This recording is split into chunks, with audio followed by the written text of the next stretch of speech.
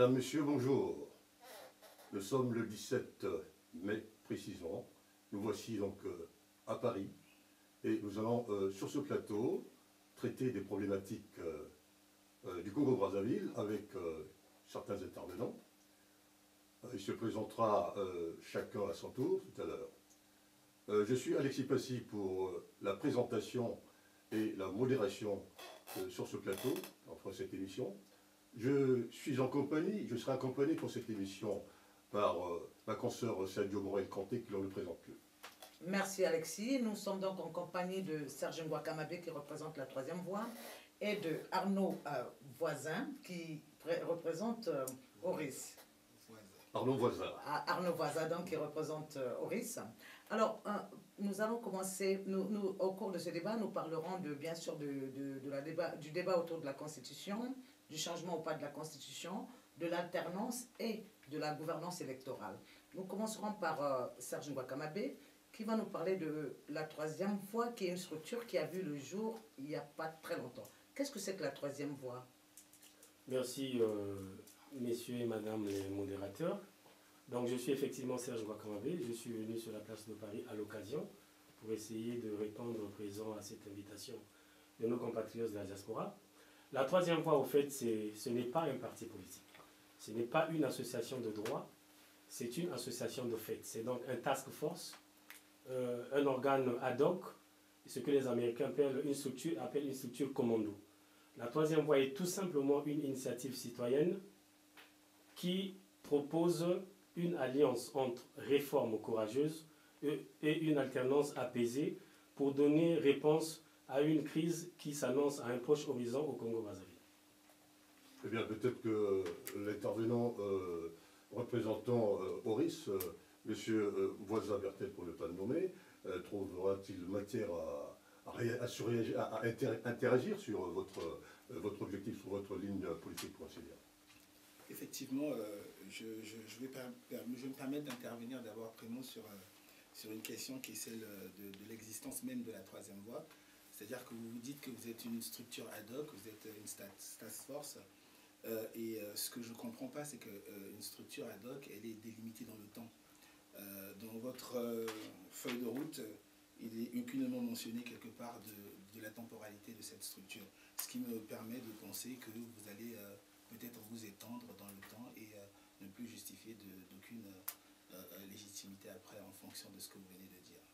D'abord, ce que M. Voisin a ce n'est pas une feuille de route, c'est un flyer, c'est un prospectus, un condensé pour remettre en avant l'essentiel de la philosophie de la troisième voie.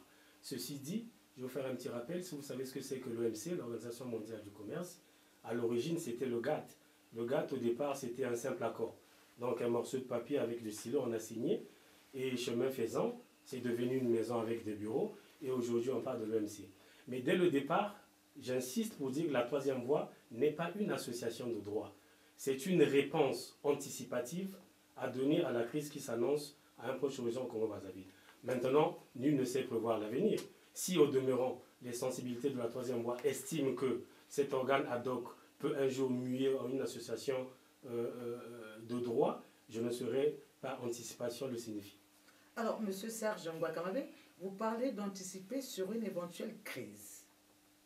Entrevoyez-vous une crise dans notre démocratie euh, naissante? Parce que nous sommes dans une structure complètement nouvelle. En quoi entrevoyez-vous une crise dans notre pays? Et euh, par rapport à qui, par rapport à quoi? Vous savez, Madame Sadio, euh, s'il n'y avait pas de crise, il n'y aurait pas tant d'agitation et de crispation politique au pays.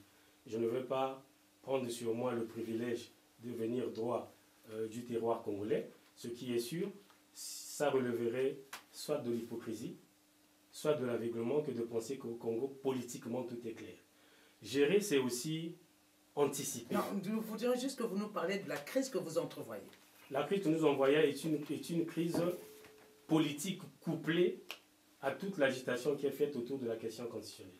Donc si nous ne regardons pas les problèmes du Congo avec les yeux bien ouverts, nous allons sembler dans une espèce d'hypocrisie qui pourrait avoir une issue dommageable pour tout le monde. Oui, mais sans langue de bois, M. Serge Wakandame, euh, parler du débat constitutionnel qui est existant ou pas, hein, qui est, on va dire, visible ou pas.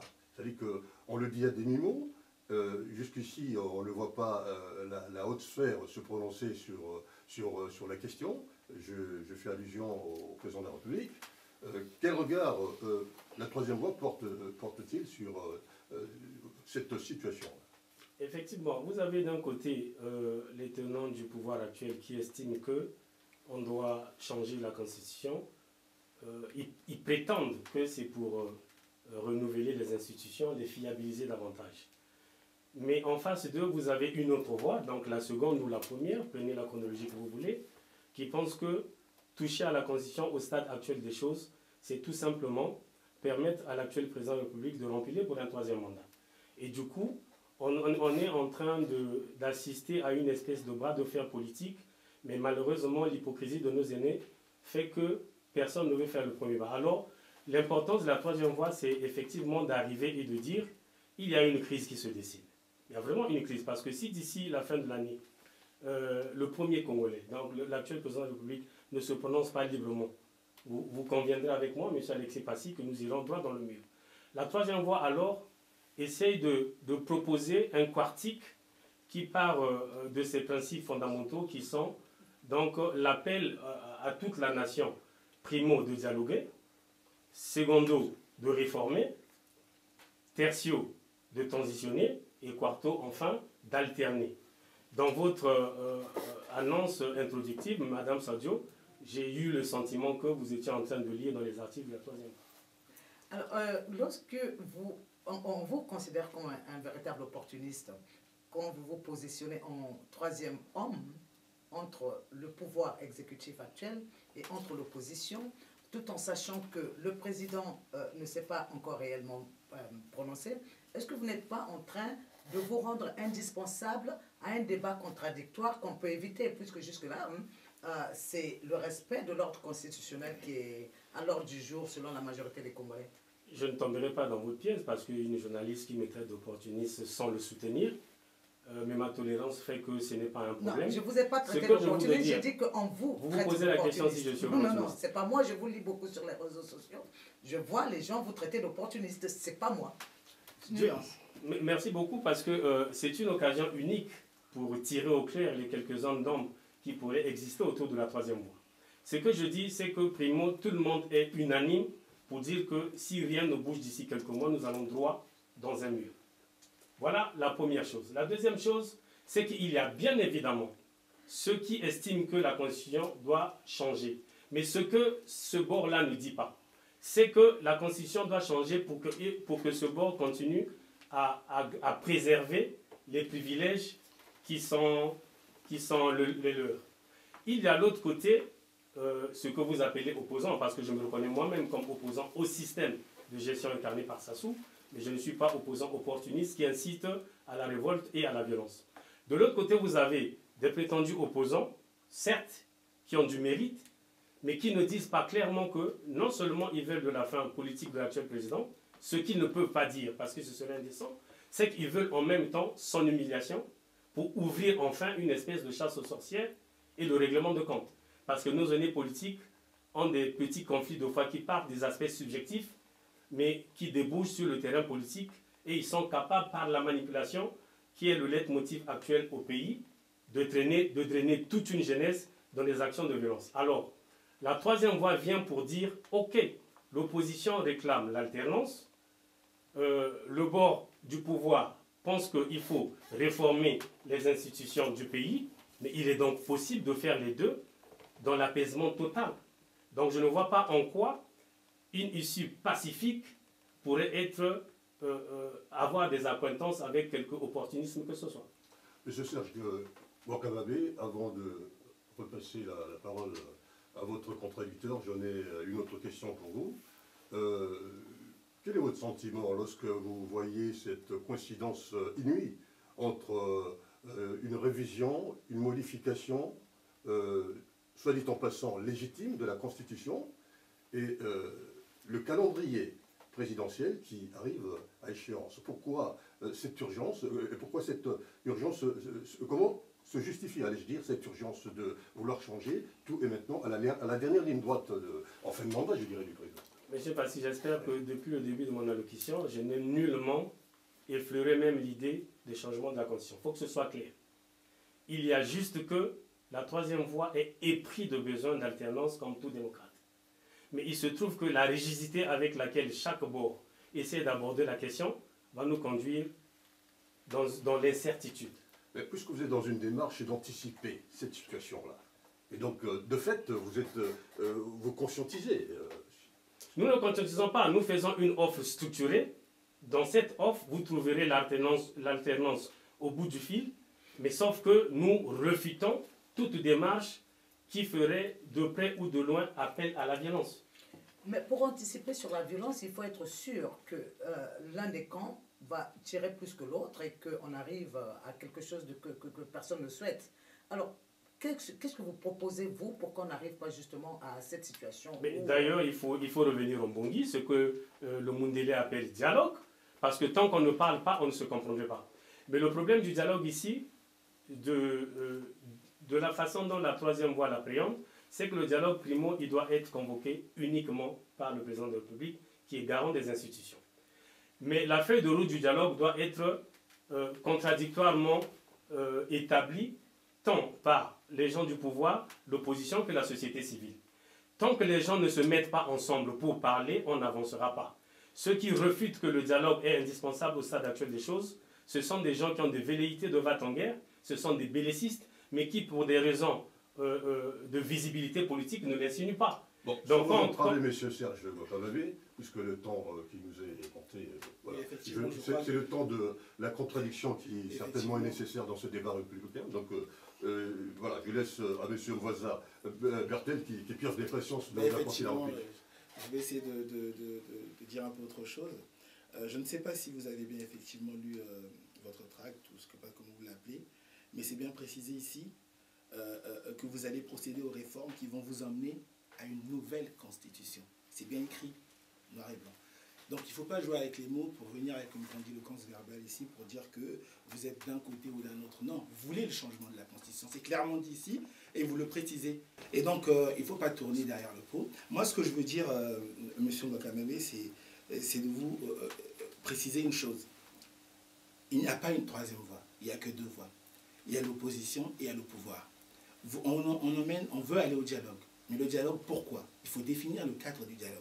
La Constitution, elle est claire, elle est nette, elle est limpide, elle est structurée. On n'a pas besoin de la compliquer. Alors, j'ajouterais que parmi les membres de, de la troisième voie, on, on- on y voit beaucoup plus des proches du PCT. Euh, On a l'impression que c'est un concentré euh, des membres du PCT ou leurs enfants, quand je vois qu'il y a Francky Loemba et autres. Est-ce que c'est dans la même dynamique de, de- changement de constitution que prend le PCT finalement? Madame Sadio, j'aim- j'aimerais terminer mon propos, excusez-moi, monsieur Wakamabe. Euh, et donc, euh, pour continuer, je disais que le dialogue, il faut qu'il soit intériné par euh, euh, des actes, c'est-à-dire qu'il faut qu'il y ait une base. On ne peut pas aller au dialogue pour le simple plaisir d'y aller. Aujourd'hui, l'opposition dit une chose. Il faut respecter la Constitution, parce qu'elle est établie, parce qu'elle a été adoptée. Et euh, le pouvoir dit qu'ils veulent réformer, ils veulent une nouvelle Constitution. Les motifs pour lesquels ils veulent une nouvelle Constitution, on ne les connaît pas trop. On dit d'autre part qu'il faut euh, que les nouvelles institutions, qu'il faut changer, euh, la durée du, mandat est trop, trop élevée, qu'il faut le réduire à 4.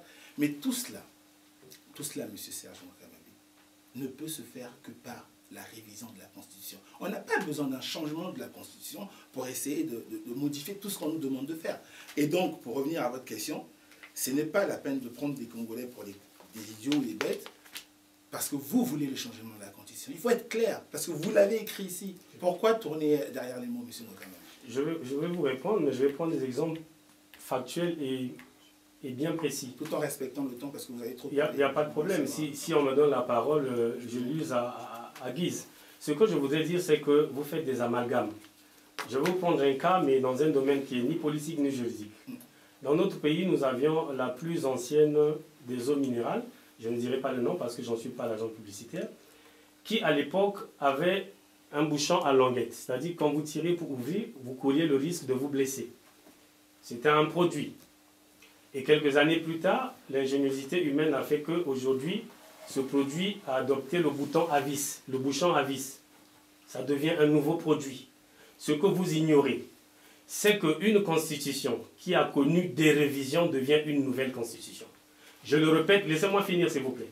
Pour être clair, nous ne sommes aucunement pour le changement de la constitution. Pourquoi je le dis?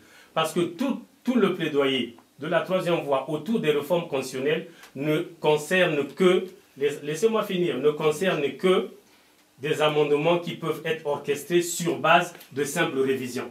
Donc, ce n'est pas parce qu'on dit nouvelle constitution qu'il y a changement de constitution. Monsieur Wakamabe, excusez-moi, vous jouez avec les mots.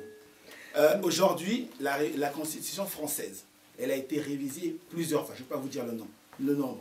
Est-ce qu'on parle de nouvelle constitution Bien sûr que oui, malheureusement. Non, Alors, monsieur Wakamabe, dans ce cas, euh, quelle, quelle, différence faites-vous lorsqu'une constitution est changée à l'issue d'un coup d'État et lorsqu'il y a eu des amendements à l'issue de lois organiques Est-ce que vous allez me dire qu'il y a eu changement pour euh, euh, d'un côté et revision seulement pour faire évoluer les choses selon que la société, les besoins de la société, ou vous les prenez-vous pour la même chose? Merci Madame Sadjouf. Ce que je voudrais encore apporter comme précision, peut-être que nous n'avons pas euh, les mêmes appréhensions sémantiques des expressions, mais je vous dis ce que la troisième voie a mis dans sa philosophie. Pour répondre à Madame la journaliste, pour répondre à Madame la journaliste, je répète encore, dans le volet réforme proposé par la troisième voie, quand vous avez consensuellement arrêté des réformes, mais vous ne représentez pas la majorité des Congolais. Après, il faut les inviter aux urnes pour valider ou contester ces réformes. Je vous dis encore qu'il est nullement pour la troisième voie de toucher, par exemple, aux réformes qui traitent euh, euh, euh, du, nombre de mandats. Ça, je vous le dis ouvertement. C'est moi qui incarne la troisième voie ici par ma présence en France. Ce n'est pas vous. Quand je vous le dis en face, ça veut dire que je ne refute rien.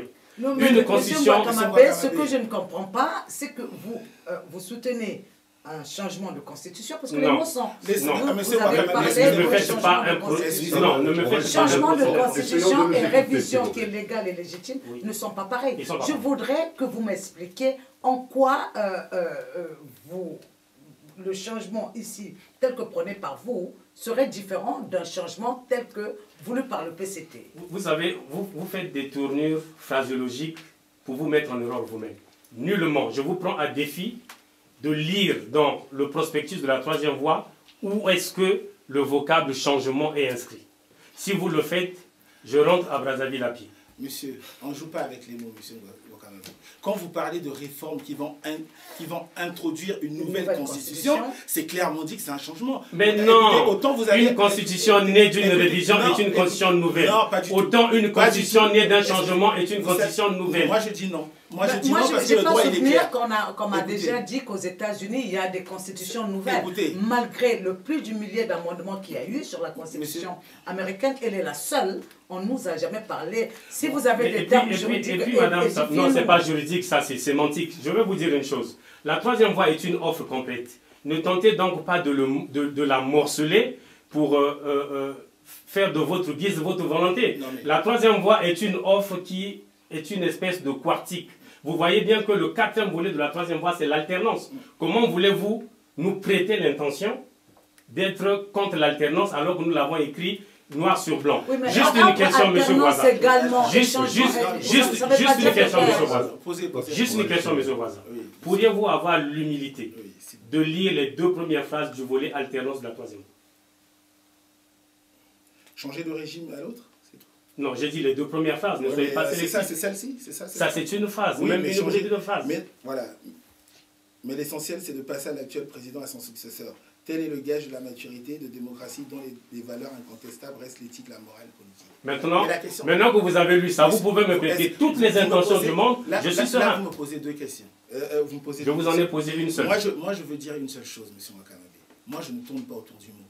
J'ai lu votre prospectus et ce que je lis, me dit que vous, entrez, vous voulez des réformes qui vont entraîner une nouvelle constitution. Pour moi, c'est factuel. On reste là. Au-delà maintenant, de, maintenant, la guerre, maintenant, je vais, je vais, je vais, je vais, je vais, je vais, je vais en, en, plus de ça, vous parlez des réformes. Je vais attaquer vos réformes d'ailleurs, pas attaquer, mais essayer de, de, de, donner mon idée par rapport à cela. Euh, vous voulez réformer sur plusieurs choses le judiciaire, le législatif, l'exécutif, le politique, avant de transitionner et d'alterner.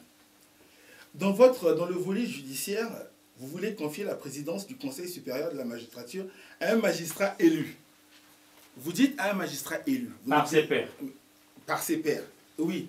Oui, mais élu par Même ses la pairs. lecture, vous l'avez Oui, sélective. non, mais non, non. Élu par ses pairs. C'est pas une grande réforme, ça. Est-ce que c'est une grande réforme? Deuxième, deuxième point. Vous parlez du législatif. Instituer une élection à la proportionnelle pour l'Assemblée nationale. Est-ce que le mode d'élection aujourd'hui vous pose un problème? Si. Vous allez me dire pourquoi. Avant Parce que les minorités, les minorités ne sont pas représentées. Il faut, il faut- Juste euh, pour vous rappeler, cher monsieur, que nous avons euh, encore deux à trois minutes pour clore euh, Donc, ce chapitre-là. donc laissez-moi laissez-moi Vous continuer. avez l'avantage euh, en termes de timing, après ce sera... D'accord, donc je vais finir. Donc ça, c'était sur le législatif, sur l'exécutif. Mais là, je suis euh, tombé des nuées parce que quand j'ai lu une réforme sur l'exécutif et que vous me donnez deux phrases, vous dites instituer un régime semi-présidentiel avec un Premier ministre. C'est indirectement reparti à la, comme on l'avait fait à la Constitution de 92.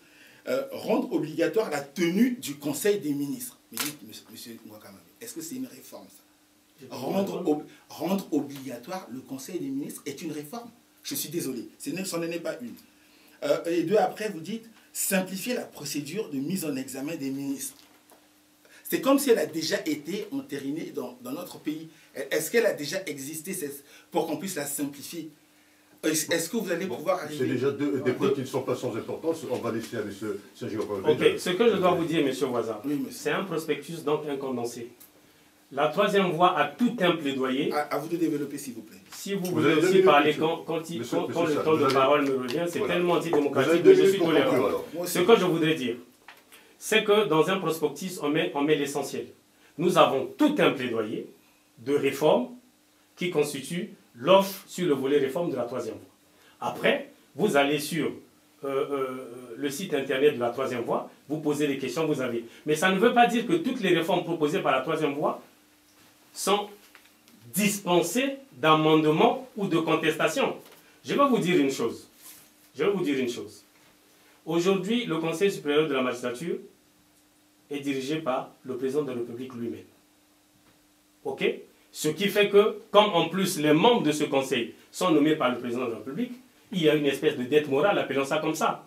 Et quand nous proposons une réforme en la matière, ne venez pas avec un simple réunion pour nous poser la question est-ce une réforme? Nous avons quasiment une dizaine de réformes proposées pour chaque domaine que vous avez cité. Voilà, le Donc, si vous avez- imparti entrer dans le détail. Est-ce que vous êtes en train de nous dire que la non-application de certains, euh, de certains faits chez nous, vous les prenez pour des réformes finalement? Donc, ce que je voudrais dire, pour, pour, pour bien, pour bien expliquer notre démarche, c'est qu'il est indispensable, vu la tension qu'il y a aujourd'hui au pays, que les réformes soient conduites par le président de la République actuelle. Ce qui lui donnerait au moins le gage d'avoir préparé les conditions maximales de sa sortie. Il ne sert à rien pour régler les problèmes de ce pays de faire preuve d'un anti-sassou primaire. Ça ne résout pas le problème. Le pays en soi ne gagnerait rien, il n'y aura de, aucune valeur ajoutée. Merci. La troisième voie est Merci. donc cette offre qui Merci. propose l'issue pacifique Monsieur à la crise qui pointe à c'est bon là. Je pense que sur ce registre-là, euh, c'est clos. Pour aujourd'hui tout au moins. En vous remerciant. Merci beaucoup.